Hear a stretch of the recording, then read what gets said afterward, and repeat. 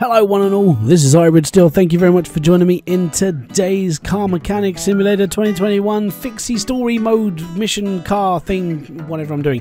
So, today we're going to be doing a Ribsan Starline. I would read the description, but it's pretty long and basically means I'm probably going to be looking at repairing everything like I did with the last car. And on inspection, yeah, it's um, it's a little bit broken, isn't it? Let's get it inside and have a look at it, shall we? Well, Dusty is definitely the way forward, isn't it? Okie dokie, jokey, cokey, mokey. Right, so first job then. Um, drain all the fluids. As I say in most of my videos, this is the first thing that everyone should be doing. Reason why is just so you don't make a mess, mainly. So yeah, drain out all the fluids, and then we'll get about we'll get into the rest of this video.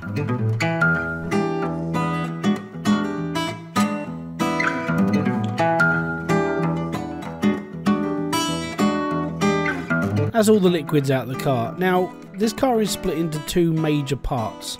Number one is literally all the body parts. So we're going to have to take off all of the body parts.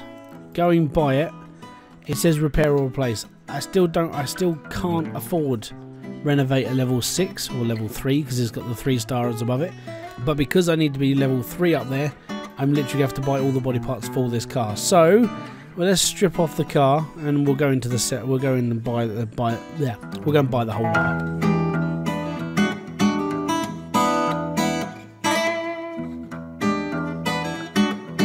So we're looking at Ribsan Starline. So basically everything in the Ribsan Starline. Let's let's go and find all the parts, shall we? And here is every part that we need. So we got to take it all. Okay, so before I get before I get into sort of well, in all fairness, before I get into actually sort of repairing this car, it needs a clean, I think. So that's definitely a before.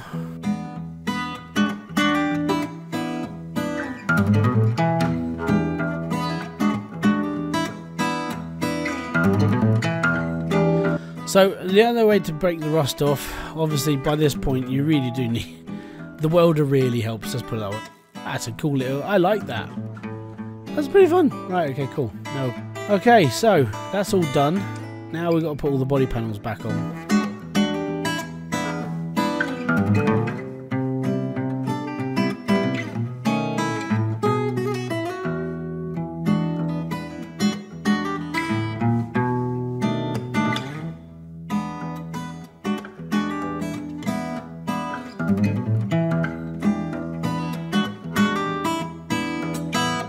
Okay, so that's all of the body panels. Let's just get rid of all this.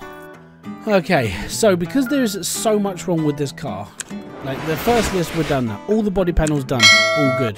I haven't changed the oil yet because I'm not 100% sure of how much is actually wrong with this car.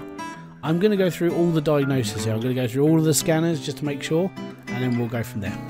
The one reason why I couldn't do one of the tests is because simply the battery is dead. So we got to take the battery out first, get this charged, then we can do the other test. On the plus side, at least we found a part that needs to be replaced. Now we can do a compression test. Going by all of those tests then, there are certain bits and pieces all over this car that are a little bit sort of like worse for wear. But most of the problems are in the engine. So what I'm going to do is we're going to take the we're going to take a look at the back area first. I did see that the there is a suspension issue.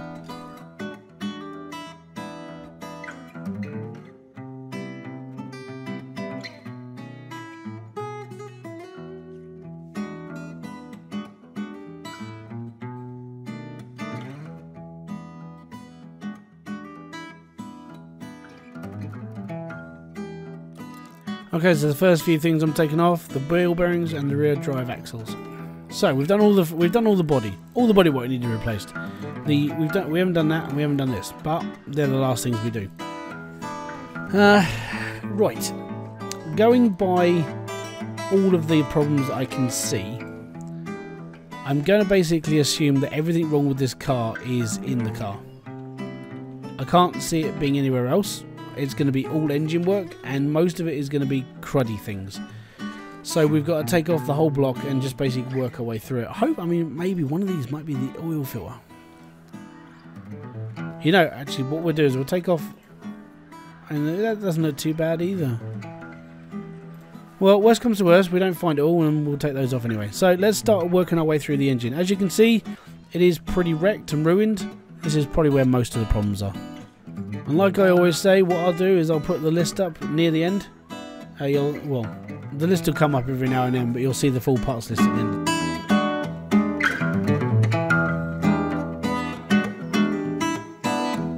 Alright, there we go. Engine head cover. This is knackered. And look how big it is though. And this is the big car.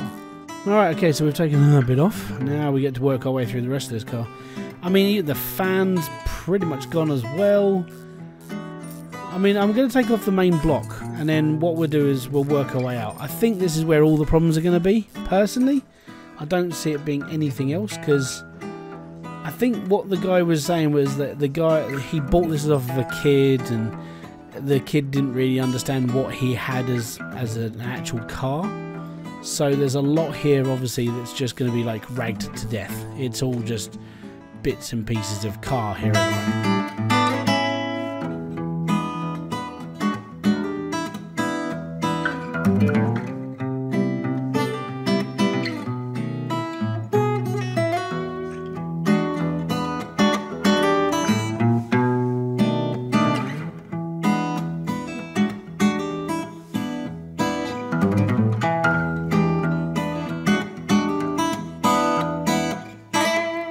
Okay, so battery, belt tensioner, camshaft, coils, yeah, coil cover, engine head cover, ignition coils, intake, basically just everything there. So that's page one,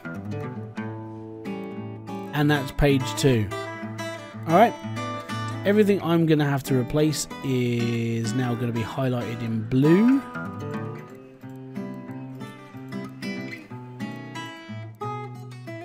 So page one, page two, all good. Right, so to put it into perspective, everything. Everything that is highlighted in red is everything that needs to be got back onto this car. So what I'm going to do is I'm going to plough through all of this, add it into the shopping list, and we'll be away with the fairies on this one, I think. Let me just get rid of these bits first. I love this new system. This shopping list system is so much better than like 2018. Let me know in the comment section below if you're if you're actually liking this as well. It just makes shopping so easier in this game. It's just so much. it's just so much better, more fluid, and more time to mess around with cars. All good. Right.